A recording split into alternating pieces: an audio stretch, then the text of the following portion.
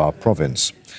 Uh, and so far, all we've heard from President Trump uh, on this uh, is a tweet uh, yesterday, Washington time, uh, just after the attacks uh, in Iraq, saying that all is well.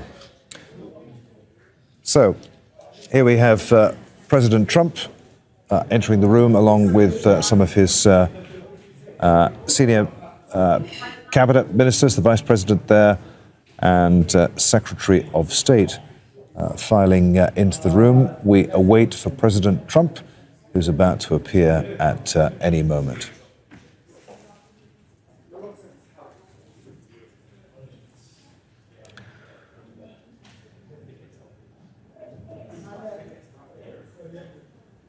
He does like to keep people waiting, doesn't he?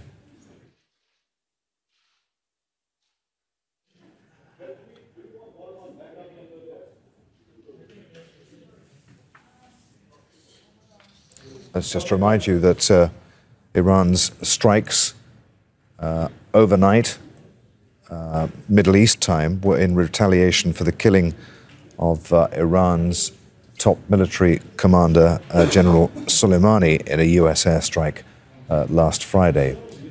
Soleimani was buried in his hometown, Kerman, just hours after those strikes by Iran on Wednesday.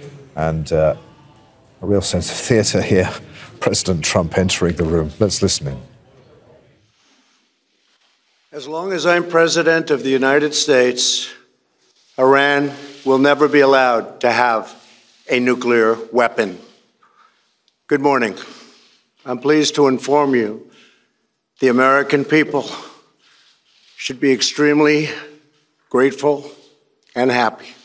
No Americans were harmed in last night's attack by the Iranian regime.